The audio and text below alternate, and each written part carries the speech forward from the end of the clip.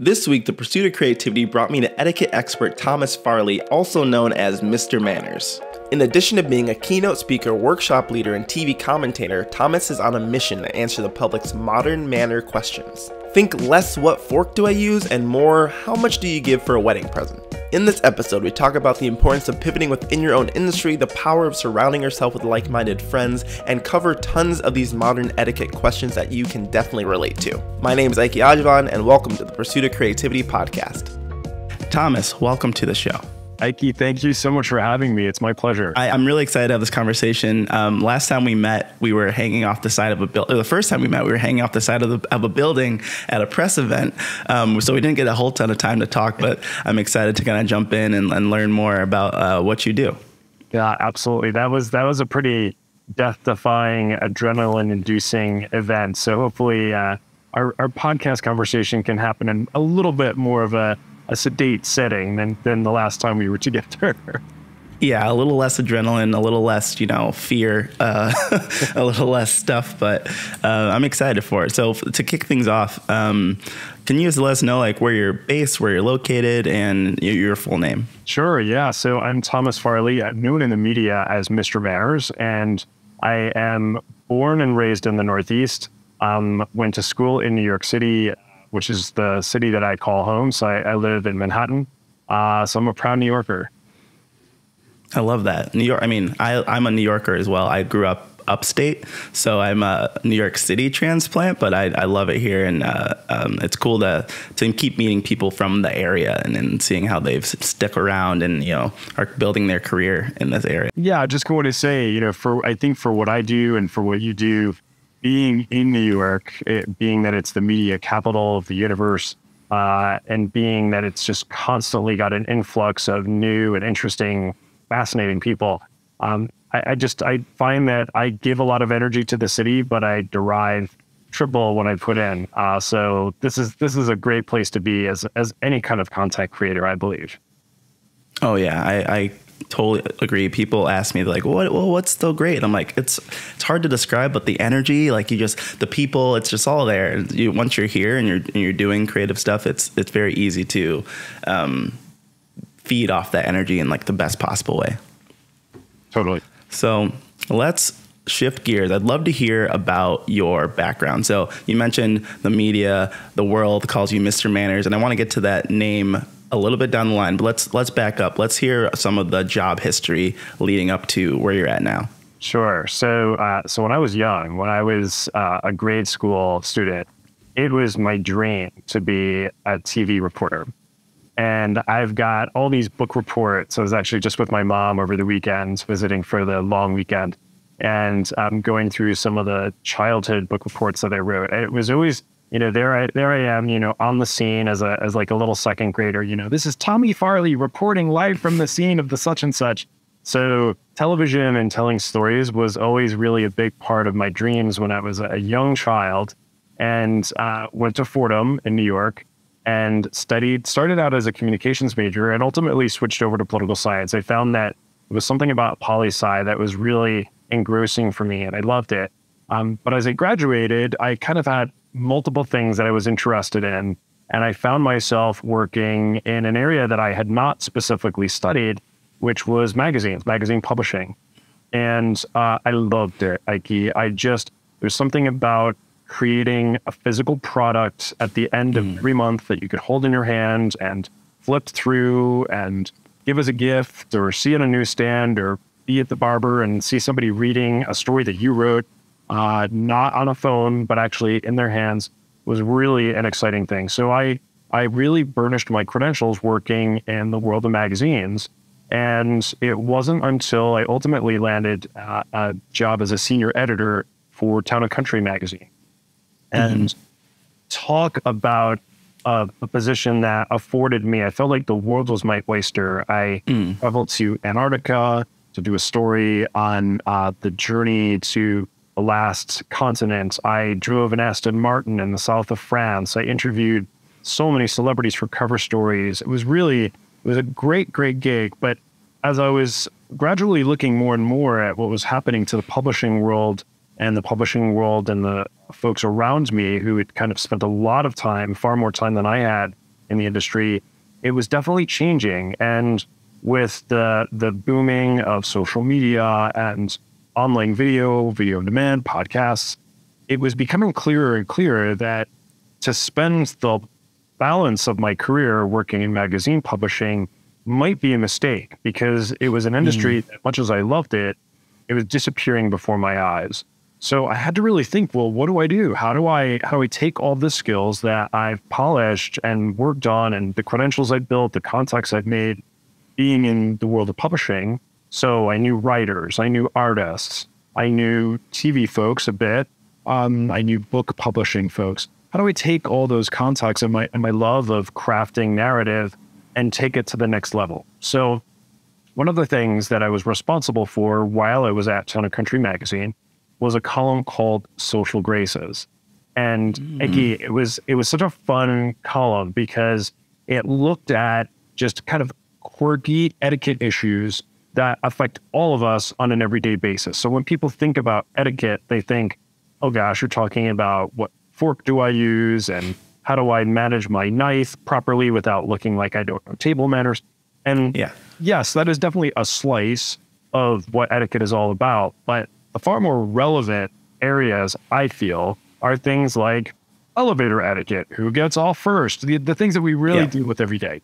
So that's what the column dealt with. So every month we would look at a different issue of contemporary etiquette and behavior. And ultimately, the column became so popular that we created a book called Modern Manners. And so I edited it was an anthology. I edited it. My photo was on the book. And as soon as the book hit the newsstands, television stations started calling and saying, Could we get Thomas Farley on? We love this concept of etiquette that's not fussy, it's not old fashioned, it's not mm-hmm. cranky, mm-hmm. it's not judgy. It's just, it's relevant to everyday issues. And so the median started calling, and it was great for me. Like my dreams as a second grader of being on TV were all of a sudden being realized when I kind of far put that in the rearview mirror. I thought, well, I you know, I made my bed with magazine publishing and that's where I'll be for the balance of my career. Suddenly, all these TV opportunities were arising. So it was such a thrill and remains a thrill. So that's where it began. And, uh, you know, it was really, uh, you know, when you start out, you're invited to be on a local affiliate on yeah. Sunday morning at 6 a.m. And, you know, when you prove that you can actually handle that, then suddenly it's Sunday morning at 8 a.m. And then it's, mm-hmm. you know, Monday at 9 a.m. And, and little by little by little, I really started to be uh, get to be known by a national audience, and and I just I, I I know we'll talk about this more. I just consider it such a privilege to be able to get this message out in a really meaningful way, and I think what's going on in our culture right now makes the sort of conversations that I do have in my role as Mr. Manners supremely important. Totally. Wow, that is such a cool backstory. I love that it went from like, you know, relatively very traditional to like writing a book, and then now you're doing this. You're, you're spreading your message on social media. You're, you're on all these news segments. I love that it like went through this evolution and back to your original goal as a kid. So that is really really awesome. I love I love to hear it. And my next question for you, I have a lot of questions based on all of those things, but um, first and foremost.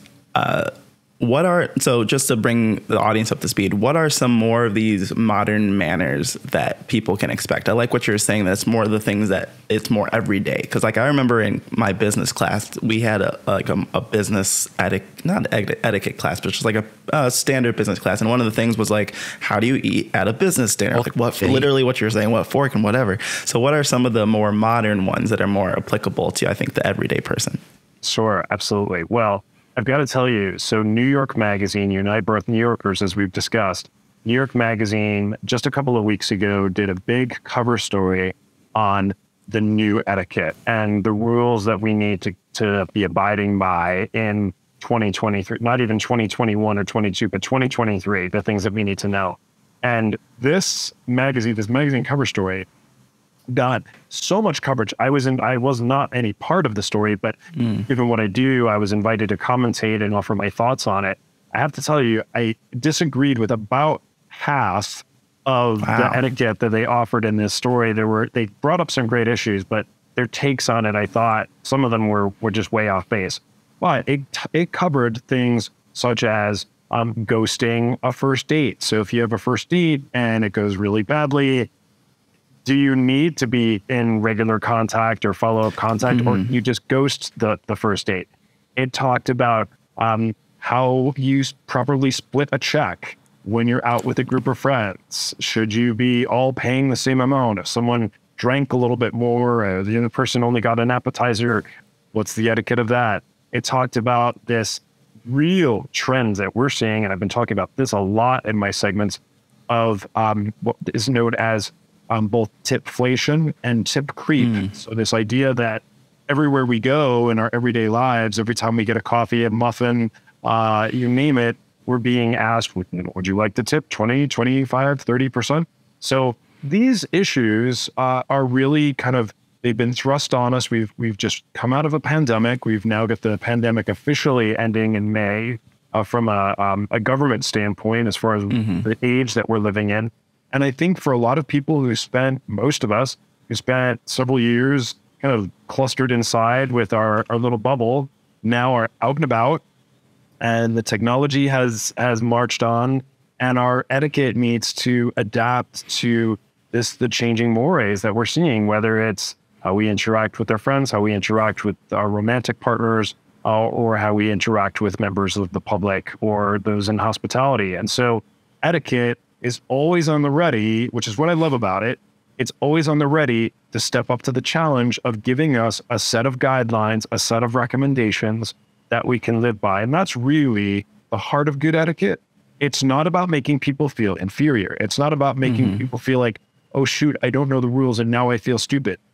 Far from it. The idea of etiquette is that it's adaptable. So the etiquette of 100 years ago, guess what? It's not the etiquette of today. And that's a good thing. Cultures adapt, societies adapt, and so does etiquette. Um, so that basically, as long as we have a similar common playbook, a commonly accepted guideline of what is good behavior, and we all are, are familiar with it, that allows society to, to flourish and to function in a way we're not inadvertently offending anyone or um, using bad etiquette without knowing it. Totally. And I think I, I can definitely, I felt that when I was like, when things started opening up in New York, I was like, wait, how do I act again? Like, what do I do? What's acceptable? So I love the idea of that there, there being some like, base level or like uh, relatively agreed upon rules so everyone can be like okay i feel pretty good about this if there's something special, obviously for different people from different cultures or different places, that's that's different. But as long as we have like a good baseline, I feel like everyone can like, you know, enjoy that and agree on that. I like that a lot. Yeah, I mean, if you think about even going to a wedding, uh, you know, maybe I don't know when the first time you went to a wedding was, but you were probably fairly young. You know, maybe you were mm-hmm. 10, 11 years old. Uh, you know, these are situations that don't happen every day, and yet there are guidelines for what to give, how much to give, you know, when, how long to stay, when to RSVP. All, all of these things, if we if we generally follow these guidelines, it allows the interactions to happen that much more smoothly. And it and the important thing there, once we get this is if you think about etiquette is like the business side of any interaction. Once you get the business side out of the way, you know, when should you RSVP? How much do you give? then you can really focus on the enjoyment and, and the being mm. present and not worrying, oh, did I do the wrong thing? Because in fact, if you're familiar with the commonly accepted guidelines of etiquette, then you most certainly have done the right thing. And now you can just enjoy yourself. That's so true. I've had many conversations where I'll look over to my partner. I'm like, how much is is this enough for the gift? Is this not enough? I'm like texting my sister. I'm like, is it? How do you do it? Like you're a little older than like. It's so it's so true. I feel like that would be such a weight off the shoulders to get that information. And I'm sure it's cool that you are like you've crafted this area in society where you get to help people in that way. Um, so let's get to the name, Mr. Manners. Is it a self-appointed name? Was it something that came from the book? Was it something that people just started calling you? I'd love to hear the story. Sure. Yeah. So I, I wish I had some phenomenal story for it. Um, and I and I wish also I could truly pinpoint it, but it was there's something that started happening little by little, as I mentioned. So I was still at the time I was still at Town and Country, going out doing all this TV, and at that point I was Thomas Farley, senior editor, Town and Country. When I left the magazine, people, I, I really, frankly, I I thought that that having that credential uh, affiliated with my name no longer. So no longer was I at the magazine. But that really might mean the end of having this pl- platform. And I was I was sad about that, the prospect of it. But in fact, what happened was completely the opposite. When I no longer had the affiliation with the magazine, I found myself to be even in more demands than ever. And that's mm. when the big, big TV invitations started happening. Um, I think it really began someone or a few people just started to say, wow, you're a regular Mr. Manners, aren't you? And ah. I just, as I was thinking about that title, it seemed kind of whimsical. It was fun. I will tell you though, before I officially adopted it, I gave it a lot of thought because, mm-hmm. well, for two reasons. Number one, you call yourself Mr. Manners, and boy, oh boy, your behavior better be pitch perfect in every single interaction. You are not allowed to be cranky or mean or sad mm-hmm. or grumpy ever in public or with your family and friends who really hold you accountable. You know, yeah. okay, Mr. Manners, right?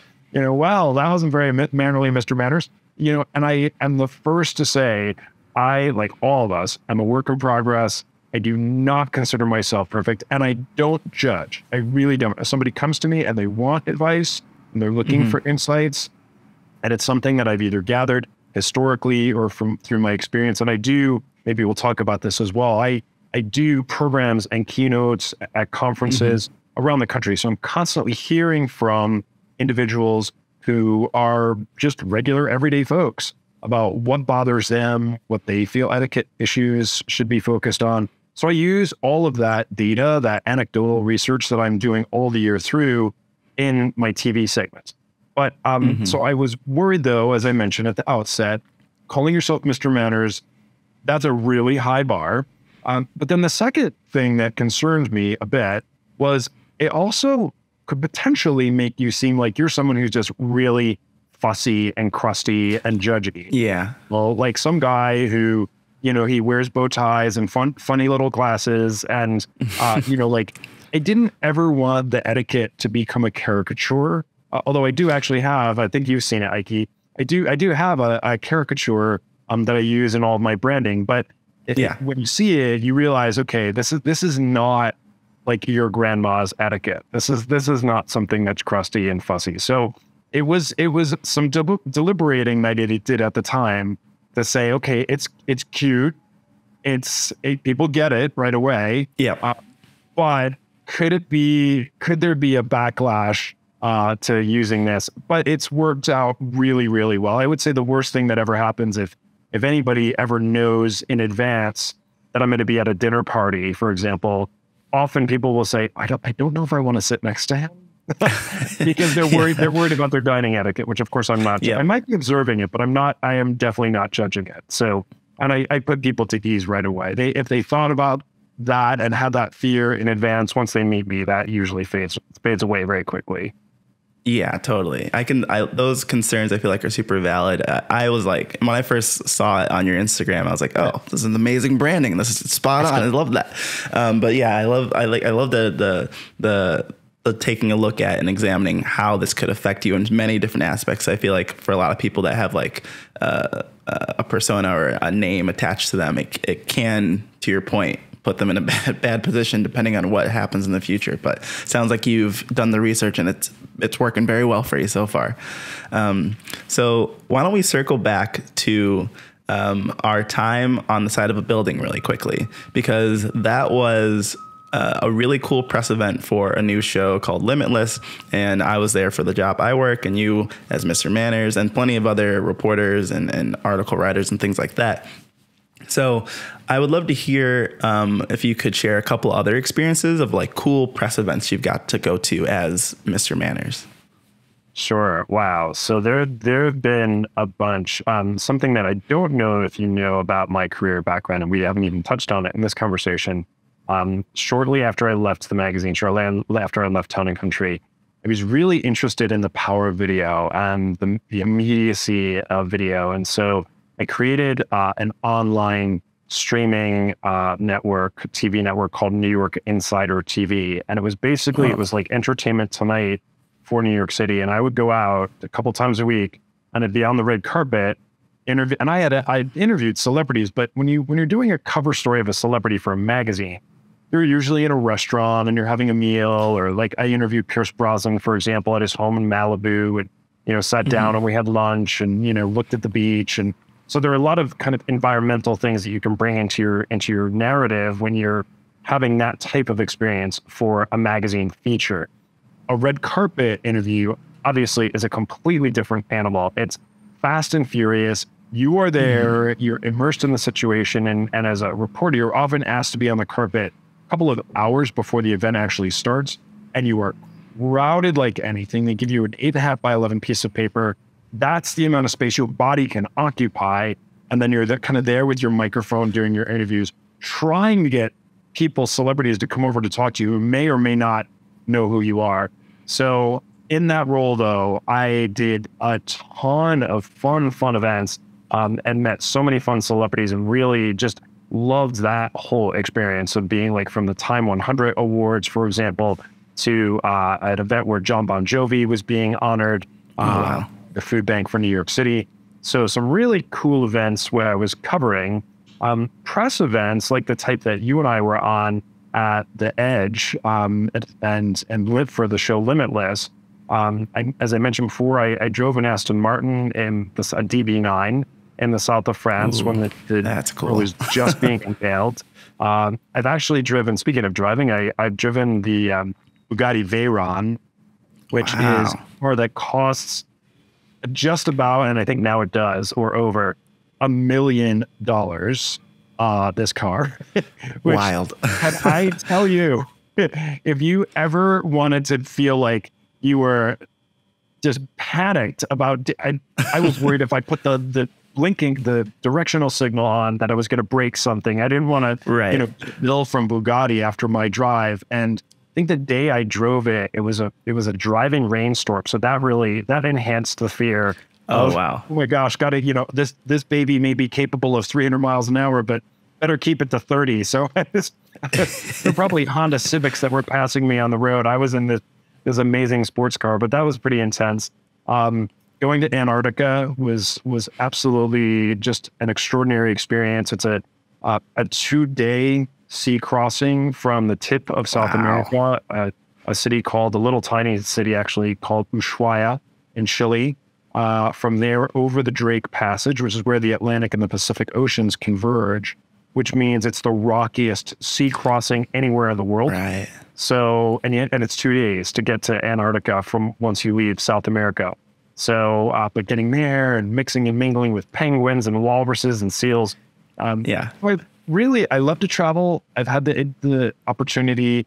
I think one thing I really, really just cherish and never take for granted is that as someone who is a writer, as someone who is a journalist in many facets of what I do, I do a column for the Edmonton Today Show, for example. Um, there's really no person that you can't pick up the phone and call. There's no email that you can't send out requesting an interview. And seem and, and you know, so, and if you were doing anything else, people would think, "Who is this wacko? Why is this person calling me?" But as a journalist, as a writer, mm. you have carte blanche to reach out to some of the most fascinating people and help tell their story and help you help have them help you tell a larger narrative. So I feel really fortunate, and I know you do too, just this ability to kind of collaborate with and work with anyone who you so choose as a means of, of telling a story. So um, some great stories completed, some great stories still to tell. Yeah. No, that is amazing. That's a really good point. I, I, I love the, the, you know the, the, expression of gratitude and excitement about being able to talk to these amazing and brilliant people. I, like you said, I, I feel the same way that I get to do this kind of stuff in my job too, um, with these people in their selective fields and stuff. But it is that is really cool to hear that there's all these opportunities for people that, um, as a reporter and a journalist and things like that, that that's out there. Um, but I want to also touch on because that's like that's the more extravagant exciting side of things, but there's obviously more to that, right? There's a whole other side to it. So, could you walk us through? And you, you alluded to this a little earlier about the different things you have going on, speaking engagements and, and seminars and things like that. Could you talk to us about um, some of the other things behind Mr. Manners? So, like you said, you had a column, you do these speaking engagements. Give us a, a look behind the curtain to all the things. Sure. Thank you. And you know? Those are equally exciting. They're just not always as public facing. So, mm. and what I love about what you're doing with this podcast is really kind of showing the way others have the paths they have taken as a means of shining a light for others who might be interested in doing a similar thing on their journey. So I think something that your listeners might, I hope, will find of great interest was so there I was. I had left Town and Country. I was suddenly being asked on every TV show going. I mean, it was just a dream, and again, remains a dream of dreams to have that platform both because I love TV, love love the news media, um, but being able to reach an audience literally of millions was yeah. very exciting. Um, but I had a really interesting challenge, and that was when you're asked to be, you're not a full time staff member at any of these shows. You're asked on as a guest. You're asked on right. as a commentator.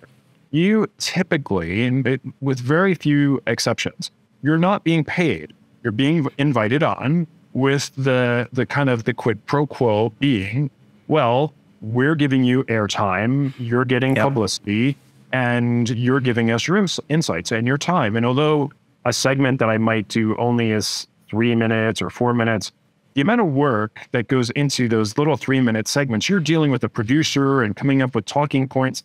This this happens sometimes over weeks leading up to those right. three minutes that you wind up getting in a TV segment. So it is it is quite a lot of work and you're not being compensated. If I were someone who was out there selling bow ties or selling uh, you know, skin creams or something like that as part of my segments, it would really be genuine publicity for what I'm doing that you would right. think would lead to increased business as a result of the exposure I was getting. In the case of of the uh, TV rollout that I had early on, I was out there, I was on TV, and the TV really had nothing that it could promote other than me as someone who could talk about these things. I wasn't literally wasn't selling anything. I had no business. This really wasn't anything that I even thought was a business. I thought, right. well, this is terrific. I, I love I love this this platform that I have, but but that was pretty much the end of it. I ultimately thought this is nuts. I have a challenge that most businesses would be aching to have, which is more publicity than you know what to do with. Mm-hmm. How do I take all this publicity that I get and do something that that is in alignment with my brand and alignment with, with Mr. Manners, but that it can also allow me to make a living uh, as it was becoming a bigger and bigger part of my time.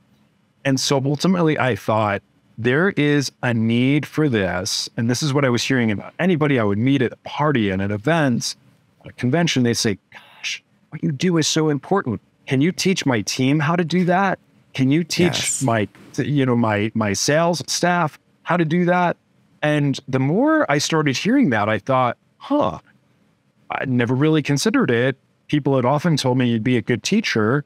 Maybe I should think about this. So I started about, I guess it was like eight or 10 years ago. I hmm. started offering primarily to law firms and banks who have summer programs where they have their summer interns. And mm-hmm. I would do courses on professionalism. I would do like the course that you took on dining etiquette. Um, I yep. would do those courses and suddenly realized, wow, there's a huge demand and a huge need for this. That being said, I also realized this is not co- the core. This is not all I can do. I'm so much about right. communication. I'm so much about being the best version of yourself. I don't want to be known as that guy who does the the plate course. I really wanted to be known for something bigger and to me far more broad reaching. And so that is what I do now, Ike. So my programs, uh, which I do, I have about 40 different programs that I that I teach on. I have keynote speeches that I instruct um, and deliver at conferences. So I travel around the globe and uh, primarily North America, doing programs for teams big and small. Sometimes it's a team yeah. of six or 10 people. Sometimes it's a team of 30 or 40. And what's really exciting there is I have worked with, no exaggeration, literally from coal miners in West Virginia. Wow. To Native American Indians in Washington state, to Disney executives in Burbank, um, and everything in between. I've Yeah. toured like the the plant of a, a, a perfume factory where they filled a perfume in the bottles and been there to see that and experience all of that. Um, I've worked with companies that do the linens for restaurants and and wash the napkins and, and been on their floor and, and asked, gosh, how do you get wine stains out of a tablecloth? And so that the journalist in me is always learning and always I find there is no such thing as a dull person. There is no such thing as a dull job. There are only dull questions. So the chance to get out and and meet people and and learn about industries that you never even knew existed, uh, or if you did know they exist, you never thought you'd have any contact with them. To be able to Right. bring my message of considerate communication and being the best version of yourself to all these different professionals all around the country and around the globe. I love it. I love it so much. That is so cool. Yeah, I, I that is exciting, and I love you know to hear the the, the point about like these TV um, appearances don't necessarily get paid. You had to like they create a, a way for you to make your own path, which is like you said, one of the things I'm super excited and want to share with people on this on this uh, podcast. And I would love to hear you know a little bit more about so these courses and these speaking engagements were a lot of was it a lot of word of mouth? Were you like going on forums? Like how did like for someone listening that's like well i want i can do that. I have a i have a specialty area. I can sell to people. How did you find some of these opportunities? Sure. So, one of the things that I did at the outset was I realized I had a bunch of friends, and I wish I'd known you at the time, Ikey, because I would have definitely looped you into this group. I created a group called the Experts Collective. And this group was I would be in a green room at a TV show and I would meet the you know the different version of me who did something entirely different but had a similar path.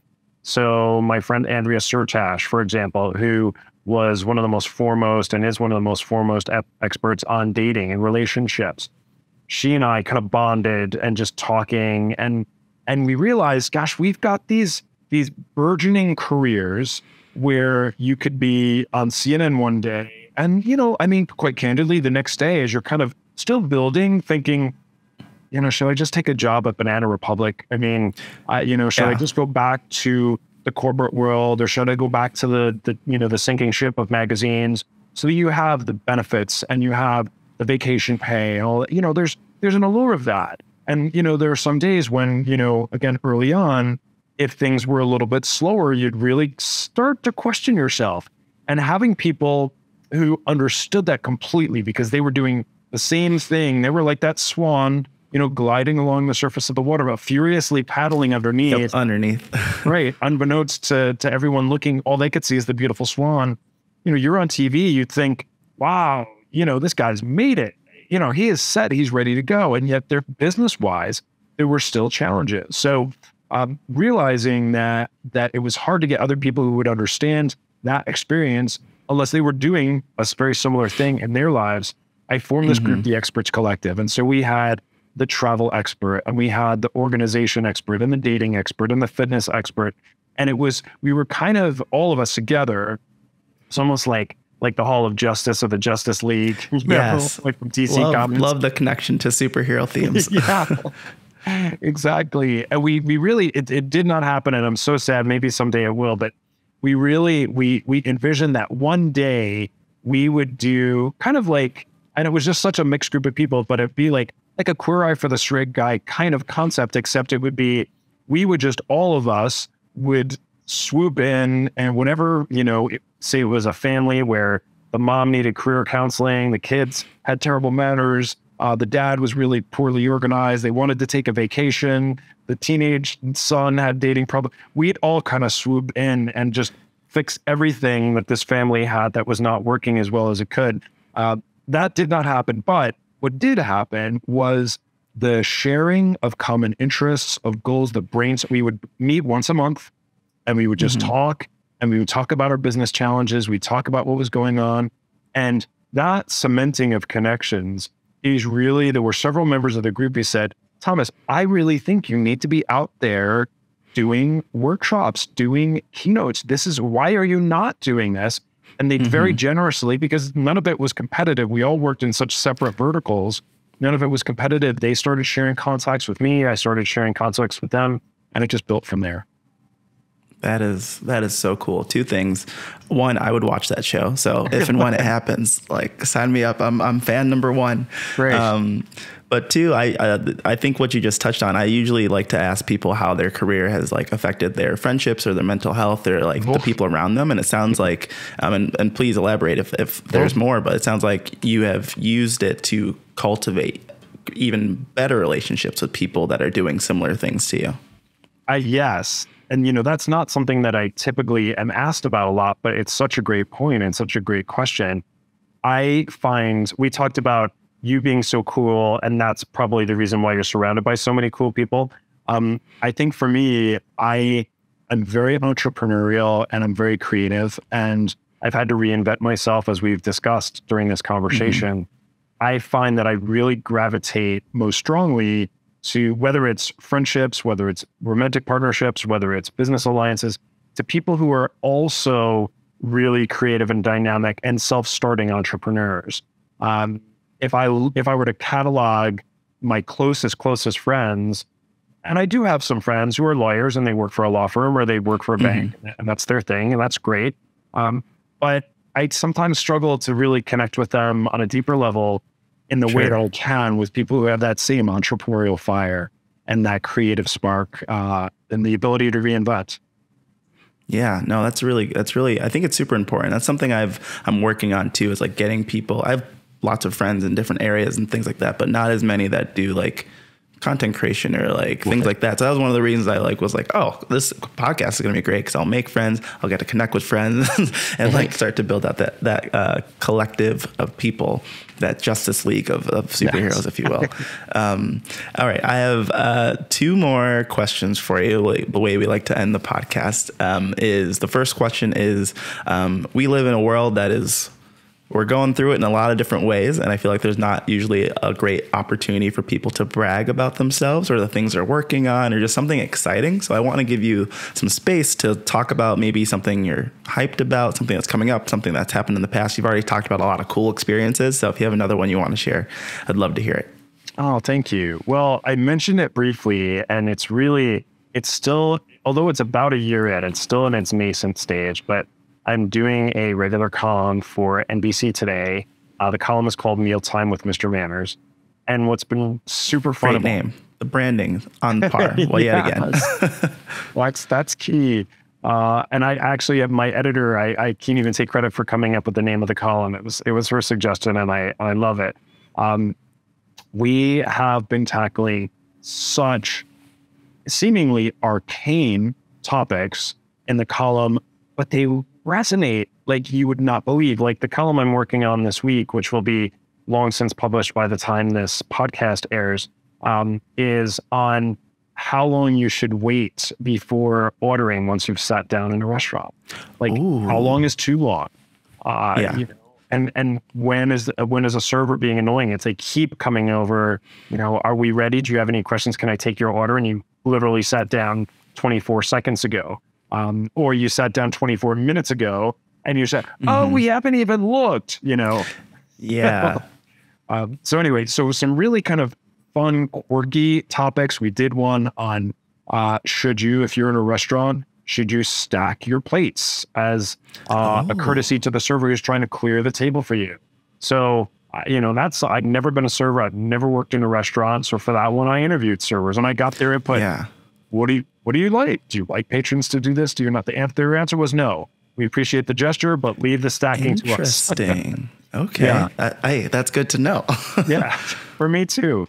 So the column has been super fun, uh, and I'm I'm just when you ask about like what's next, I'm I'm looking forward to seeing where that can build. So I've got uh, multiple ideas for some documentaries uh, based mm-hmm. around. I'd love to partner. know anyone? Love, love to part, partner with Netflix on a doc because I, I think the the fact that we're talking about these issues now and everywhere I go, I hear people just fascinated at having these questions. I know the interest is out there. So uh, so that hopefully if we're if we're talking again in a in a year's time or maybe even six months time, uh, we can talk a little bit about my documentary. Yeah, that's I've I've had this uh, thought with a couple guests for this first season. I'm like, I definitely need to have like a a, a first season like catch up in like a year or two or whatever, and just to see where people are at. And ideally, when we do that, because I'm I'm saying we're going to do it now, we'll be talking about your documentary, which would be really cool. Fantastic, and you'll be you'll be invited to the opening premiere.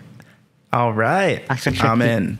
We'll watch that, and then we'll have another screening for the other show when you have that going. Yes. Um, okay, so our last thing, I like to do this because I love this. I would love this to be a very actionable podcast. I hope people are inspired by hearing your story, hearing what you do.